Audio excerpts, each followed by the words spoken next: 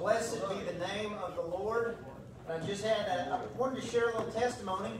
Uh, my phone, through some weird coincidence, got put on a repeated call list about three hours ago. And since then, I've received about 50 phone calls from Apple iPhone help because my account has been hacked. But they direct me to a live human in India every time. And so I decided, I told Corey, Corey was the house, I said, if they keep on, it must be because I'm supposed to tell them about Jesus. and so I tried a few different ways and it would cut me off.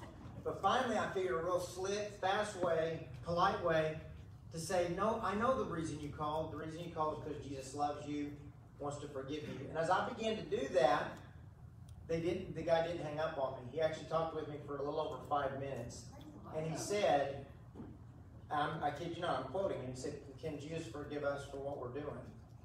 And I said, "What do you mean?" And he said, "You know what I'm doing." I said, "You're scamming people for money." And he said, Yes. And I said, God can forgive you. He said, But I don't believe in Christianity. I said, What do you believe in? And he said, Well, right now, he said he didn't believe in very much of anything. His name he, is not Jason, but he told me his name was Jason. It's probably something else. But he told me, he said, Would you give me permission to call you personally? I can't do it at work. I'm about to get cut off. There's an algorithm that's going to cut me off here in a minute.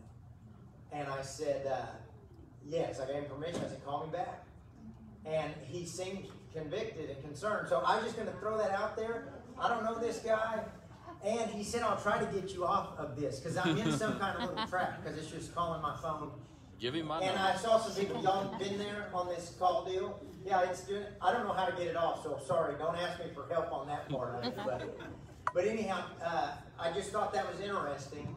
And um, but this is the interesting thing the reason I thought of this, when we're going to sing Blessed Be the Name, when I began to share with him about Jesus, he, he, um, he said he didn't, he didn't believe in, I think he said Christian religion or something like that. And I said, well, I'm not interested in changing somebody's religion, traditions, but I think you should meet Jesus. Amen. Because Jesus is the name above every name, and if you get Jesus, you get changed. Amen? Right. So let's sing page 206, Blessed Be the Name.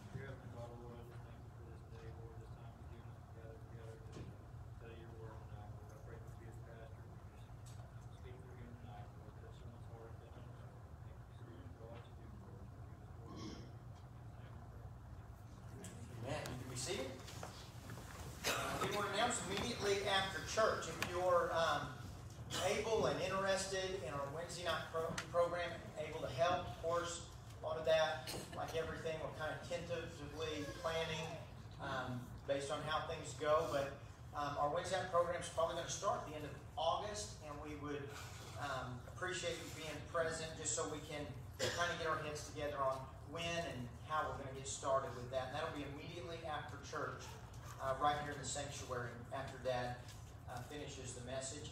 Turn to page 447. Our next congregational song will be Trust and Obey. There's no other way to be happy in Jesus. Amen. Page 447.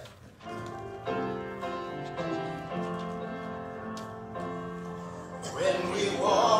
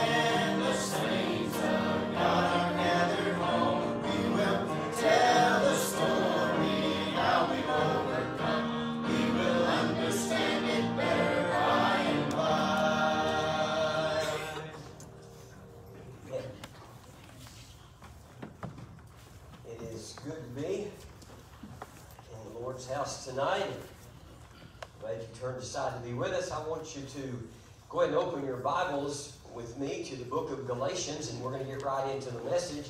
I do want to just uh, once again mention what Pastor Clay did right after church.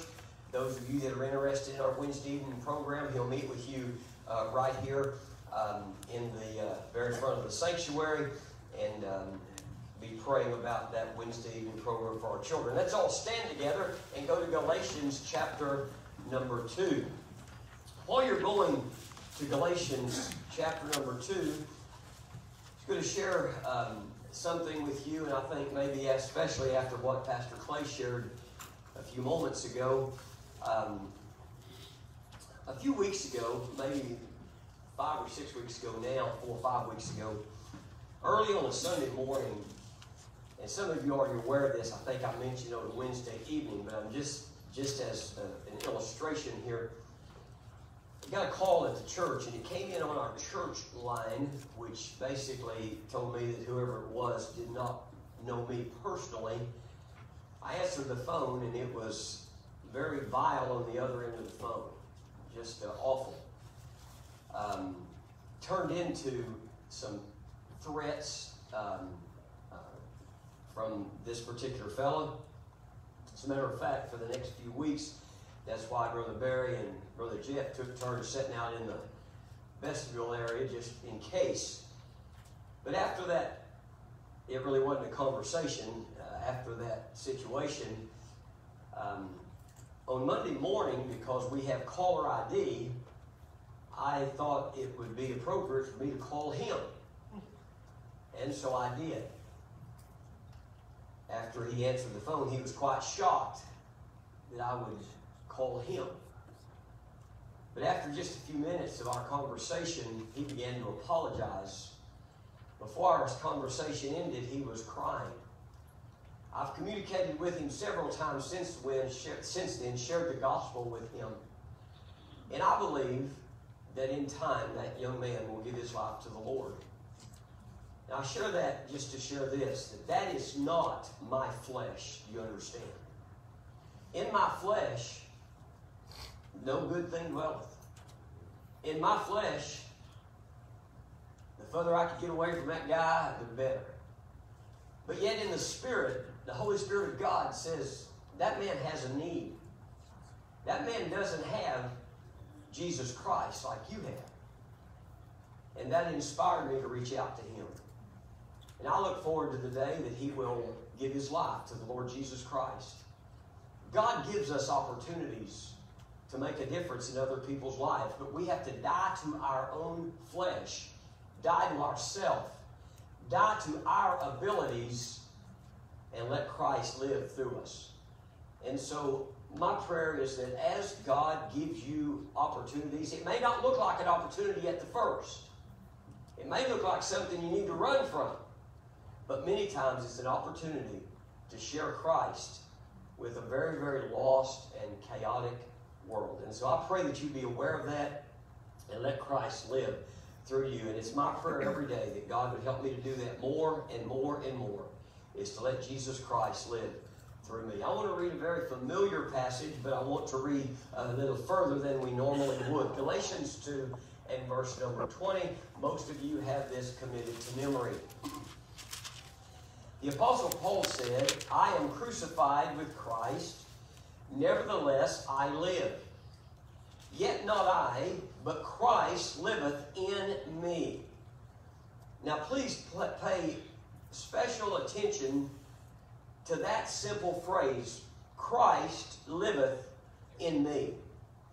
And the life which I now live in the flesh, I live by the faith of the Son of God who loved me and gave himself for me. And I'll explain that a little further as we go. I do not frustrate the grace of God, for if righteousness came or come by the law, then Christ is dead in vain. Chapter 3. O foolish Galatians, who hath bewitched you that ye should not obey the truth before whose eyes Jesus Christ hath been evidently set forth, crucified among you? This only would I learn of you. Received ye the Spirit by the works of the law or by the hearing of faith? Are ye so foolish? Having begun in the Spirit, are ye now made perfect by the flesh? If I could title the message, I told you this morning what the title would be. It would be something like this Lord, I just can't. Lord, I just can't. And I believe the Holy Spirit will bring this together for us. Father, we are grateful. Lord, we love you and praise you. Thank you for revealing yourself to us, God. Thank you for your precious word, God, that just reveals more and more truth to us every day. God, I thank you for godly men that you have placed around me to help guide and direct the path that I should go. Father, I just pray that your Holy Spirit would continue, Lord, to be so real in our lives. Lord, that we would always realize from day to day, it is not I, but Christ that liveth in me. Now we love you, and we give you all the praise in Jesus' name. Amen and amen. One other thing before I get into the message, I do uh, want to encourage you to be praying as Pastor Clay mentioned this morning about the Supreme Court decision where um, the governors of some states have been given the authority to basically, basically close churches by restricting them. Um, guys, I mentioned behind this pulpit when this whole mess first started that the government putting restrictions on us was not an end in itself right then. It was it was a far-reaching, far-reaching decision, and I believe that we are now in that time that we are, by the grace of God, going to have to make a stand. Uh, we're in that position. Now, we're way out in the country. It may be a long time before it knocks on our door, but it's coming this way. And so pray for those that are in on the firing line right now in those states where the anti-God movement is, is rampant. Uh, and I would encourage you to pray for them. So the Apostle Paul said, and if I can take you back to verse number 20, not that it needs a terrible amount of expounding on, but I do believe that, that a word of explanation here is important. The Apostle Paul understood what it meant to live the life of Christ.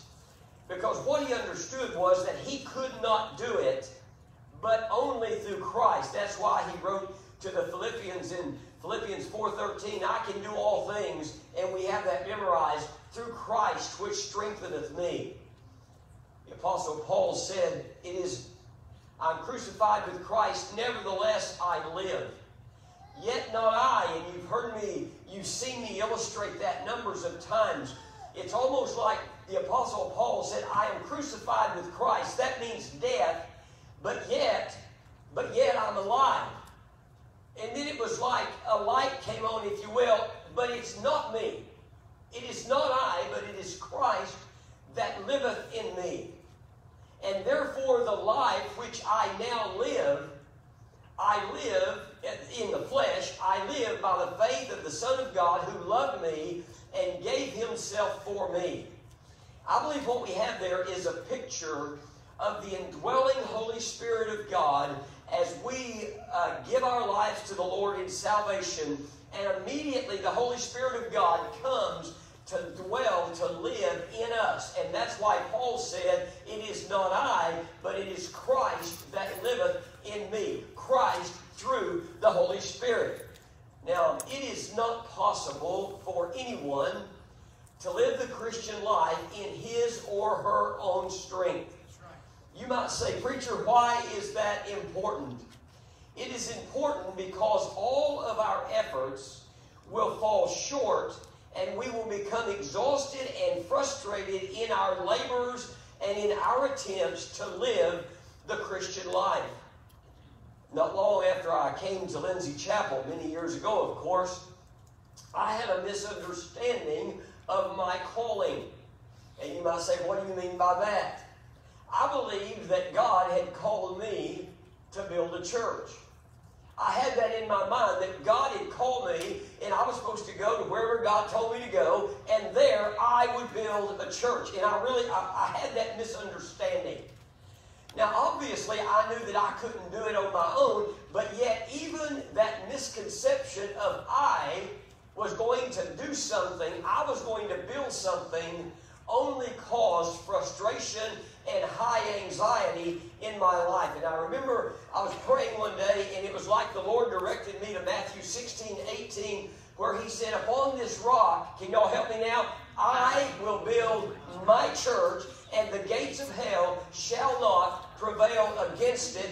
And it was as if that day the prison doors were open and I became free. Because at that point I understood that my calling was simply to preach the Word of God and to shepherd the sheep that He put under my care, but it was God's responsibility and pleasure to build the church. It is not my responsibility, and I had to come to the place where I knew it was not I, but Christ that liveth in me that enables me to do anything that looks righteous. You see, there is a key to the Christian life. You see, I think about this oftentimes. At the point that I realize that I can't do it, there is a major decision that we have to make. And I believe that some of us may be there now. At the very point that we realize, you know what, I just can't do it. I know what the scripture says about, and you give me the issues. But I just can't do it. There's just something that's in the way of me being able to do that. A lot of times, what's in the way is you or me. It's kind of like the great army general one time said, We've encountered the enemy and he is us. Sometimes we get in the way of what God wants to do through us because we've decided that we can do it on our own and then we become frustrated and we fail. So, at the very point that we understand, Lord, I can't do it, we have to make a decision. We can give up and yield to our weak flesh and become of absolutely no use to God in His kingdom's work. In other words, at that point, even though we may be saved, we can literally just give into our flesh, do whatever we want. Now, we can't do it without consequence, but yet we, we can do that, and we become of no use to the kingdom of God. Or we can give up and yield to the Holy Spirit of God and submit to His power and His guidance. And at that point, we can be very effectively used for the kingdom work of the Lord Jesus Christ. And that's where He wants us this evening. He wants us to come to the place where we say, Lord, I can't do it. Lord, I'm just frustrated in my efforts to do what I feel like you want me to do. And we should submit ourselves, give up, yield to the Holy Spirit, and let Him do it through us. I remember when the children were small, and you've heard me give this illustration before. I think most every parent has encountered this. Now, I remember when the kids, we were trying to teach them how to write. Back then, we still taught cursive. I think that they kicked that out of most schools now, but uh, they taught cursive. But uh, even when we were teaching the kids to, to write their names, even in print, now I want you to think about this illustration. It would have been a futile attempt if we would have said to Clay and Casey, All right, guys, this is the week we're going to learn to write. Here's a pencil, here's some paper. Let me know when you've learned to write. It would probably not have turned out very well. Now, I, I, will say this they did practice on the walls occasionally with Crayolas, uh, but it, it, that was not, it just wasn't what I had in mind. well, we would give the kids an example to look at, and they would look at it, but it was hard to get it from their eye to the paper. And so here's what we would do, and, and most of you parents have done this. We would, we would hover over, we would stand over our children, put the pencil in their hand, put our hand over their hand. Are y'all following me along? And if they would submit to that higher power, if they would submit to that authority, then we can make out those letters C, L. But did you know that sometimes they would resist? Can you imagine? And in their resistance, you could tell by looking at the product, you could tell if they were submitting or resisting. Did you know that's true of the, of the Christian life today? Did you know that there's always evidence in your life? There's always evidence in my life if I am submitting to the power of the Holy Spirit that is his only purpose is to, is to let the life of Christ shine through me and yet, there's always evidence when I resist the Holy Spirit in His efforts to make, if you will, Christ look good through me. He's, he's trying to glorify and honor the Lord, and yet we oftentimes resist. And there's always evidence of our resistance, and there's also evidence of our willingly submitting to that hand of God as He tries to teach us and mold us to where we can bring glory and honor to the Lord Jesus Christ. It is true. It is a biblical fact that God has saved us. But it is not true that I can live that life that pleases Him by my own efforts. You might say, Preacher, why would you? Why would you preach that? I mean, don't you understand that most of us know that? No, I do not understand that because I see people that are really trying. They really do. They try to live for the Lord, but they're doing it by their own power and by their own understanding, and it only causes frustration. You know that I do have some understanding of the ministry and, and what God has called us to do. But did you know that I become oftentimes frustrated when people don't do what I. Now, y'all hearing me clearly? When people do not do what I expect that they should do, even though my expectation may be based on the Word of God, because if we don't be careful, the shepherd, the I, starts to believe that somehow I can force, and that's where I get off track. It is not I, but Christ that liveth in me. I can't do anything under my own strength and my own power. I can preach the word and teach the word, but then my responsibility is to yield to the Holy Spirit of God and let Him do what only He can do. And we often become frustrated and high anxiety because we are attempting to do what only God can do. This truth about letting the Holy Spirit live through us. It does not negate or take away from mine or your personal responsibility to live righteously. So I do not want you to misunderstand what I'm preaching to you. The fact that we serve a sovereign God and that only the Holy Spirit can accomplish what He wants to through our lives, and that is our living the life of Christ through us living the life of Christ. That does not negate our responsibility to live righteously. That's why in Titus chapter 2, verses 11 and 12, the Bible says, For the grace of God that bringeth salvation hath appeared to all men. And we love to stop right there. But it says, teaching us that denying ungodliness and worldly lust, that we should live righteously, godly, and soberly in this present world.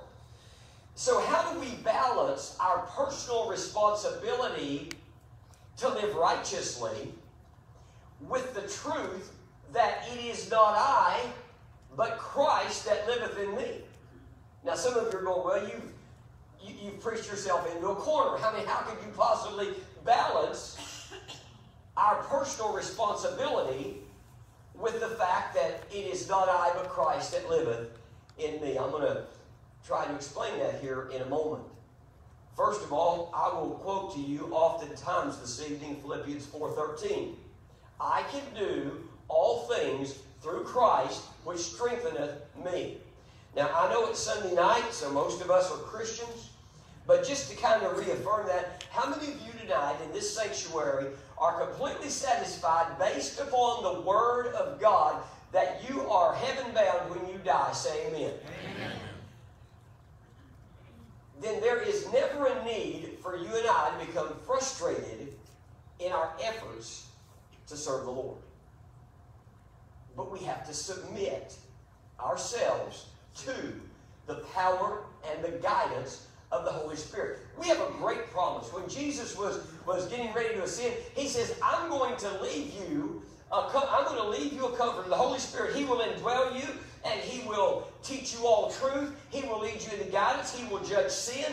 I mean, I know this sounds odd, but all we really have to do is surrender to the power and the guidance of the Holy Spirit, and then God can use us for His full intended purpose. But we have to yield to the Holy Spirit and stop trying to do it on our own. And that's not easy for me because I am a do it person. I am a get it done person. I was going to save this uh, illustration until next Sunday morning, uh, and I think I'll just use it again next Sunday morning. But you know, sometimes we do things under our own strength because we really don't take time to stop and think about it. Last Tuesday evening, uh, I believe Cody was out at the barn with me and uh, Cody Autry, and uh, I noticed I noticed the day before that we had this this big old black heifer, uh, and uh, that is not we're on, we're live now. That was not racist. She is black and she is a heifer. So let's just keep that in context, okay? We're, we live in a crazy world today, you know. So I want to make sure the context is right here. I'm talking about a cow herd. And, I, and she is blind. Before I realized it, she got blind in both eyes. Couldn't see a thing. So I told Pastor Clay, I said, uh, we need to give that cow a shot. And, uh, and she was up there close to the corral. And so um, uh, I called some of the other cattle in, but as it is on the ranch, she always came in, but that day she just didn't come in, which presented another little time consuming uh, job. And so, um, let me say this as handy as four by, uh, uh, what do they call those things? Side by sides. As handy as a side by side or a four wheeler is, it will never replace a horse. Amen. It just can't do it. It can't do it. I, I got proof to that. Anyway, and so Cody and I, we're on the side by side. Clay's on a horse. And I told him, I said, Clay, get on a seasoned horse. Jeff, I told him, but he didn't. Mm-hmm. He gets on the youngest horse in the whole pen. We go out and we try to drive the cow in, and she just does not cooperate. Reminds me of a lot of church folk. I'm trying to help them, and they I mean, they're blind, and I'm trying to help them, but they just won't come in. Now, that wasn't nothing to do with the message. I just thought I'd throw that in. And so we get out in the pasture, and, and sure enough, here comes this cow, and guess where she goes? Do you think she runs toward Pastor Clay, who's got the horse? No. She runs toward me. I'm going to, um, a side by side, but I have a rope in my hand. Some of you are going, why would you be carrying a rope? in a motorized vehicle. But listen, we carry ropes on everything. And, and I step out. She's coming my way, and Clay's hollering, Dad, don't do it! But I did it. I roped her, and I found out that she weighed me, outweighed me by about four times. She drugged me standing up for a while, and I had this thought if I dive to the ground, she can't drag me that much further if I'm on the ground. Well, Barry, that's what I thought. And so I dove to the ground, but the momentum got me. And then I heard Clay saying, turn her loose, but I didn't. I did what he said don't, and I didn't what he said do. And she drugged me until my britches filled up with dirt. she drugged me until it looked like I had a beer belly. my pliers caught about a half a bale of hay going out to the pasture, DJ. And so I finally turned loose. And you might say, now why would you? And you might say, well, what was Clay and Cody doing? They look like Elmer Fudd and Bugs Bunny. they weren't doing anything. They gave me no sympathy. Now you might say, why'd you, why'd you tell that story? There's some things we ought to just be smart enough to know not to try on our own. We should let the, and I hate to use the word higher power because I'm talking about the Holy Spirit of God in a spiritual sense. We should just let that power, the power of the Holy Spirit, do what we know needs to be done instead of us trying to do it by ourselves. At that moment, Clay on the horse was obviously the higher power, but I, I could do it. That evening, we got to the house, and we normally undress in our in our restroom area. We've got a hamper there where I put my dirty clothes, and this Deb carries. But I was so dirty that I decided I'm just going to take my pants off right out here in the utility room. But I was standing close to the kitchen. I done, undid my breeches, and about a bucket and a half of dirt fell right out of my breeches. She goes, Would you go out on the porch? And uh, you, guys, listen, I'm saying this. When we try to do it on our own, we gather up a whole lot of baggage that does nothing but dirty us up and hinder us from doing what we could have done if we would have surrendered to that power, that Holy Spirit of God that lovingly dwells in us and says, Let me do that for you. Let me do it for you. And then the frustration would be gone. Now, brother and sister, once again, I have to say that and you might say, well, how are you going to use that in this illustration next Sunday? Because I was going to preach a message and I was going to call it, Get Rid of Your Baggage. Did you know that I had this thought? I had this thought that if I got on the ground, I would become more like an anchor. Isn't it crazy how we think about things? And then, as I realized the dilemma I was in, as I knew I was catching dirt, as I was going, you know, I was catching dirt, Jeff, I thought if I could hold on long enough, as I'm being anchored down by the elements, surely I can stop this cat. Can I tell you what happens when we decide to do it on our own? It just gets from bad to worse. It just gets from bad to worse. Why not just let the Holy Spirit of God do what only He can do in our lives? Now, I said that allowing Him to live the life of Christ through us is obviously the key to the Christian life. It does not negate my responsibility to be obedient and to live righteously. Let me give you a few examples. Pastor Clay quoted this this morning. Matthew 5 16, let your light so shine before men that they may see your good works and glorify your Father which is in heaven. Did you know that that is a loving command from our Heavenly Father? Let your light so shine before men. We have a personal responsibility to let the light of Christ shine through us. But now let me just stop right there a moment. We can't even do that apart from the Holy Spirit. That's right. Because we do things that dim the light or dull the light. So we let our light so shine. How do we do that? By yielding to the Holy Spirit of God. And then we are able to let that light of Christ shine through us so that others may see His good works through us. We have a command in Matthew 28 19. We call it the Great Commission.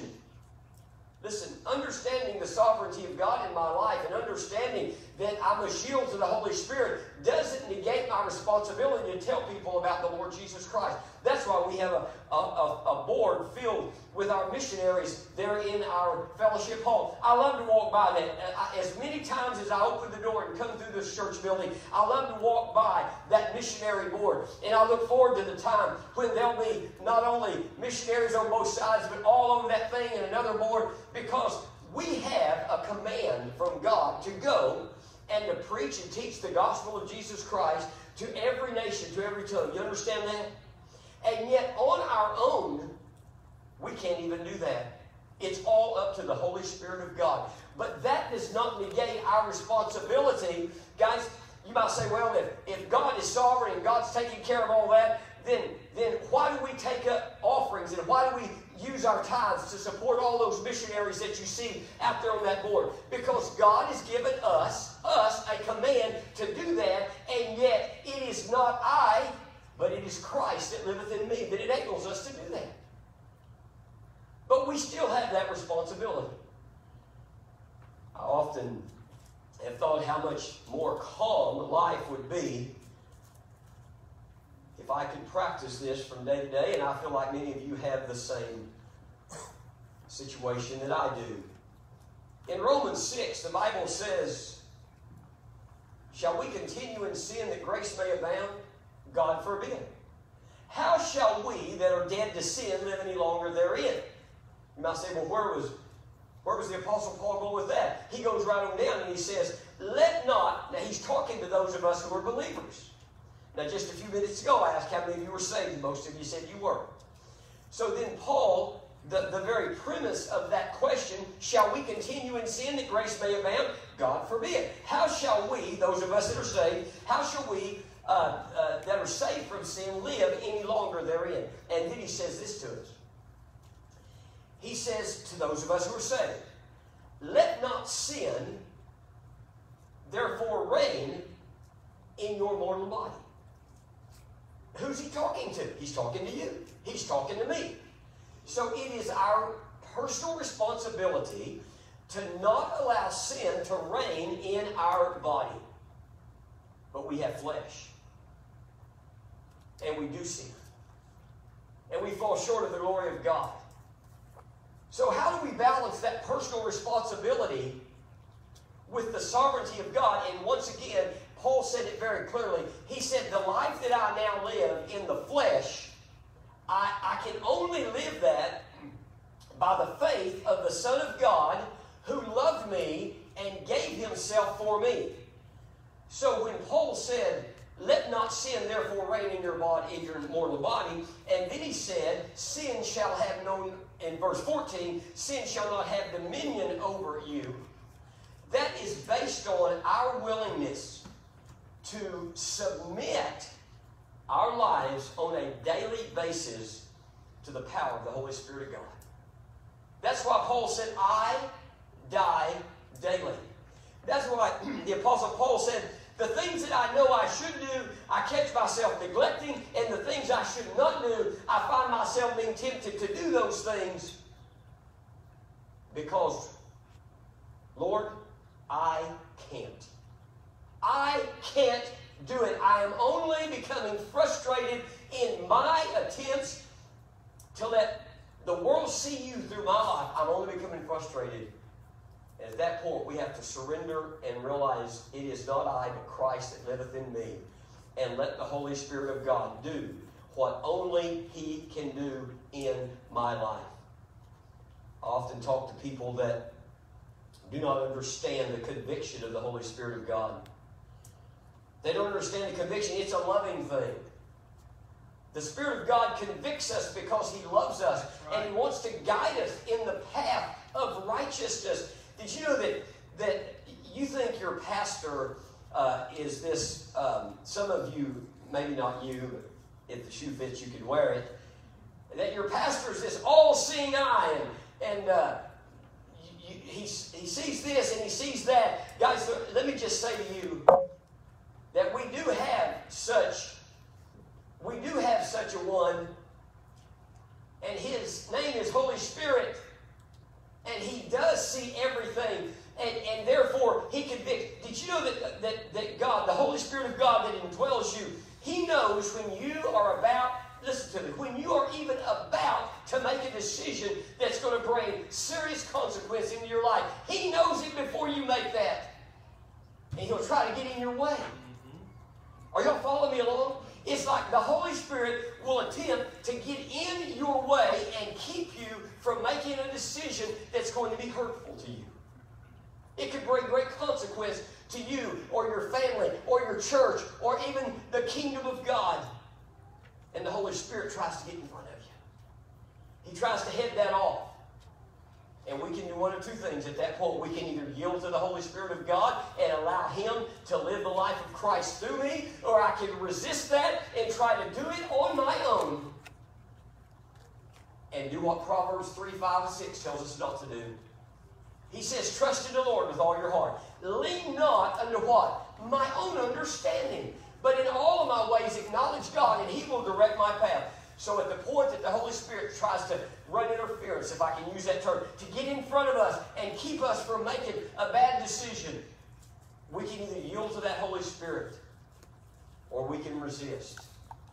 But just like the evidence of being drugged by the cow, when we resist, there will be evidence of that. There will be consequence in our lives. And so it's my prayer that we would learn to simply yield to the power of the Holy Spirit of God and let Him live the life of Christ through my life and yours. We're to honor and obey the Word of God. However, we just can't. We just can't. And therefore, we have the promise I can do all things through Christ, which strengthens me. I have to give up, and I have to give in, or submit to the Holy Spirit of God. When I realized, wow, this is powerful to me. Have you ever looked at your life and read the scripture in Galatians 5 about the fruit of the Spirit, and all of a sudden in your in your mind, your heart, you're going, you know what? That fruit is not blooming in my life. Uh, in honesty, you look at the fruit of the Spirit and you go, wow, that fruit is not being manifested in my life. And at that point, if we don't be careful, we set out to make that fruit visible in our lives when we can't. It is only through the leadership, the power of the Holy Spirit of God that we can do that. We realize that we have to give up, we have to give in to the Spirit. He will never lead you wrong, He will never lead you against what is written in the Word of God. I believe that probably, and I want to use a word here, just I guess it partly in confession. I believe that one of the things that frustrates me the most in the ministry, and maybe it's because I've been guilty of it myself, but one of the things that frustrates me the most in the ministry is when somebody tells me that they prayed about something and that the Spirit of God has told them to do something that the Word of God clearly says don't do. Or they say, Well, I prayed about it, and, and the Holy Spirit told me not to do this, when the Word of God clearly commands us to do a certain thing. Here's the wonderful, beautiful, loving thing about the Holy Spirit of God He will never, ever, ever lead you in the wrong direction. He may lead you in a difficult direction. It's not always easy to follow the path of righteousness. And that's why the psalmist said, He leadeth me. Are y'all following me along? He, the, the psalmist didn't say, I walk on the path of righteousness. He said, He leadeth me on the path of righteousness. And He will never lead you in the wrong direction. And yet there are people that, that literally say, but I prayed about it and, and, and I know that people become frustrated at me when I can clearly say to them, the Holy Spirit did not tell you that. Because then their response is, How do you know what the Holy Spirit told me? Well, I know this. He will never, ever lead you wrong, and He will never lead you differently than what the Word of God has clearly stated. He will not do that. Because He is the Word. He is the Word, and He will never lead you in the wrong way. Did you know that there are authorities that will lead you in the wrong direction? We often laugh as we work out on the ranch. A week or so ago, a bunch of us gathered at um, my brother's place out west of Chicago to help work his cattle. And uh, he has a new set of corrals. He has a brand new set of corrals that are so nice. But did you know that I don't even like to go out there with the guys that help me around the ranch because they always remind me of my failure. They always remind me of my failure when we go to that location. We were working cattle, everything was going great. We got everything done, nobody got hurt, drug, or run over. And I thought, great, but you know what? Before we left, Clay and Abby and some of the other, they go, yeah, everything went good this time, but you remember. And then they bring up the time that I, I actually used as an illustration. We were getting ready to work cattle the next day, and I gave an illustration about listening to the authority. I said, now we're working cattle at this particular place tomorrow. At that time, there were no good corrals. And I said, if the guys that are working with me will just do what I tell them, hmm. if they'll stand where I tell them and do what I tell them, nobody will get hurt. Y'all remember that? And they submitted to they submitted to that authority. Steve Turner got ran over, knocked through the fence. We almost had to tow truck to get him up. Clay got run over, got his mouth busted, almost knocked his teeth out. But they did. They stood right where I told them to stand. I almost fell down. He, you understand what I'm saying? You, there are times that an authority will lead you wrong, but not the Holy Spirit of God. Not that authority. Not that righteous one. Not that one who has never, ever made a mistake. He will never lead you wrong. And so, wouldn't, wouldn't a Christian life just be so wonderful if I could wake up in the morning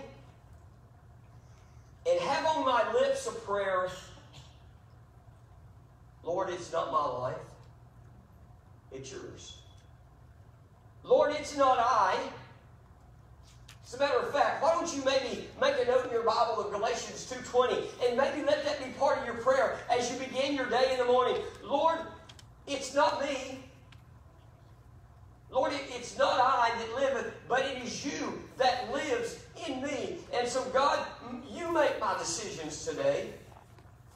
God, you, you guide and lead me. You lead me in the right path today. God, when situations confront me today, God, help me not to lean on my own understanding. God, when, when a difficult situation runs right into me, God, help me not to respond, but, but Christ that liveth in me. Help me not to be frustrated, Lord. Help me, Lord, not to, not to make a decision based on my emotions or how I feel right now. Lord, and there's an old hymn we sing.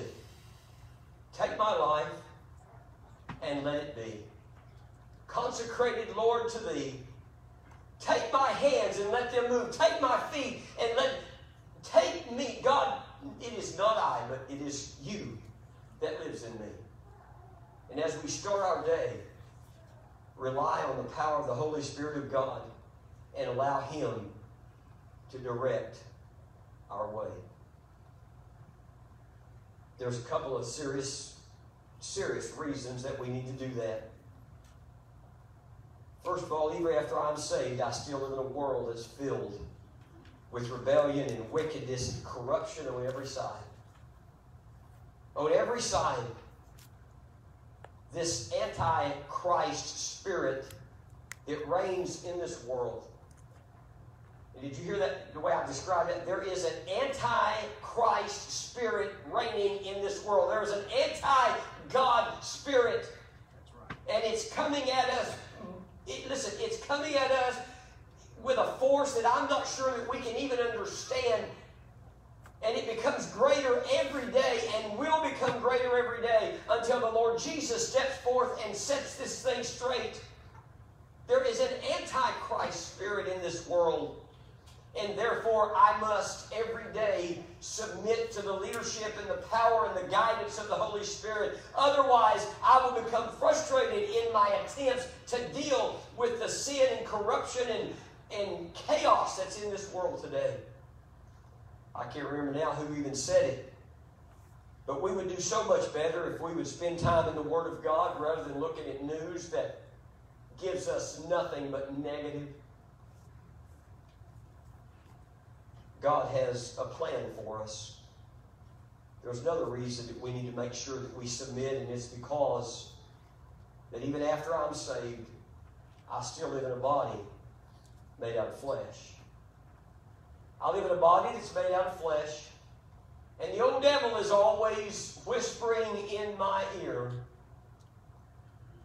trying to cause me to be confused or distracted. So there's the world, the flesh, and the devil that uh, those of us who are saved, we still have to deal with every day, and we can't do it. We can't do it. But I can do all things through Christ, which strengtheneth me. I've had the fortune, and I've been, I really believe that, I've had the fortune of being with a lot of people as they die. As they die. Listen, I want you to think about this. We've lost brother. You know, I hate to use the word lost. But, but in, in, in the physical sense, we've lost Brother Don and we've lost Brother Marshall in the last few months. But I heard a good preacher say one time, we've not lost them if we know where they are.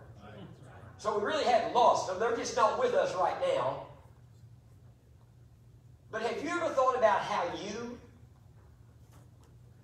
will face death? Can, can I take can I capture your mind for just a moment? Have you ever thought about how Brother Barry, you're you're a man, I know that most men are not afraid to die. But that only comes around once. Am I sure? How will we face death? I've had the good fortune of being with saved people when they're dying. I'm not saying you're morbid. No, it's, guys, I'm going to tell you something. Being with a man, being with a person who, who has given their life to the Lord Jesus Christ, and, and, and their life is just filled with the daily evidence of the character and the conduct of Christ. They have allowed the Holy Spirit to live the life of Christ through them. And they're on that deathbed, and you wonder, how will I face that? How will I face that? Man, it's a blessing. It is such a blessing. When Clay mentioned this morning, for me to live is Christ, but what? To die is better. To die is better. You can always tell when a person who is dying has, at some point in their life, yielded themselves to the Holy Spirit of God and allowed the Holy Spirit to live the life of Christ through them. There's no regrets. There's no, it's like, even so, Lord Jesus, I'm ready to go. I was with a man some time back, very special man to me, my dad. He told our daughter as we were over there together, he said, Casey, don't cry. He said, I've lived 65 years for this day. I've lived all this time for this day. The day that I'll be ushered into the arms of God. One can only say that if they've yielded to the Holy Spirit. Let me get to the end of this message. Go to John 17 with me. Look there at verse number 22 and 23. John 17. And I, I, would like you just to highlight this or mark this in your Bible and spend some time reading before and after. But the Lord says this And the glory which thou gavest me, I have given them, that they may be one even as we are one. I in them, thou in me. That they may be made perfect in one and that the world may know that thou hast sent me and hast loved them as thou hast loved me. I like the way that's put. I in them, now in me. I, I've learned not to claim anything for original because sometimes I can't remember where I read it. I'm not sure I've read this, but this is just something that came to my heart and my mind as I was studying this week. The fact that I am in Christ, now I want you to listen carefully. The fact that I am in Christ makes me fit for the kingdom of heaven. Because he said, I will come again and receive you unto myself. So the fact that the fact that we are in Christ makes us fit for heaven, and the fact that He is in me makes me fit to live righteously in this world. The fact that He is in me. Remember what Paul said? Listen, guys, I'm not preaching anything new to you tonight. What I just said is not new. Because Paul already said, It is not I, but Christ that liveth in me. Guys, what a liberating, liberating fact for you and I as Christians to believe that I do not have to get up this, this evening and walk out of this building wondering if I'm going to be able to measure up.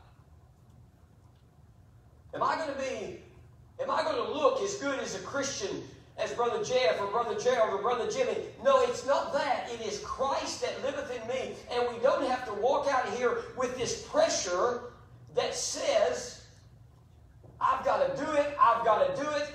We can walk out of here and say, Lord, here am I. I am yours. I am in you and you are in me. And so take my life. Take my life. Holy Spirit and live the life of Christ through me. We need to understand that God loves us. He knew that we could not do it, so He came to live in us. He chose by His sovereign power to use you and I as His instruments to carry the gospel of the Lord Jesus Christ. Brother Darrell made that very clear this morning. He loves us and He wants to have an unbroken relationship with us. That's why He says, I will never leave you nor forsake you. So, what do we need to do? First of all, we need to admit, I can't. We need to acknowledge He can, and then need to be willing to surrender and say, Lord, I surrender all. Take my life and let it be. God wants us to live a joyful life. I didn't say a happy life. Sometimes the things that we are confronted with are not very easy to deal with. But yet it is not I, but Christ that liveth in. But God does want us to live a life of joy unspeakable and full of glory. He says, I've not I've come that you might have life and that you might have what? Life more abundantly. That you might have life more abundantly. But we can only do that through the power of the Holy Spirit. That's my prayer for me. I hope that you'll pray that for your pastor, that every day I'll be able to yield to the leadership of the Holy Spirit and not be frustrated because I can't do it. And that would be my prayer for you that every day that you would hit the floor and when you do, say, God, it's not I, but it's you that liveth in me. Lord, live the life of Christ through me. And let him do it. Let's all stand together. Miss Kristen, if you'll make your way to the piano. We have such liberty in Christ. What a joy to be a child of God and to know that I cannot, but he can. The Bible says there is therefore now no condemnation to those who are in Christ Jesus. But only that spirit that great spirit of conviction that says, let me guide you every day. Let me make sure that you don't make a bad turn, a bad decision. So it's my prayer that we would all purpose tonight to live under the power and the guidance of the Holy Spirit of God. It is not I, but Christ that liveth in me. Lord, I simply cannot do it. Every head bowed, every eyes closed.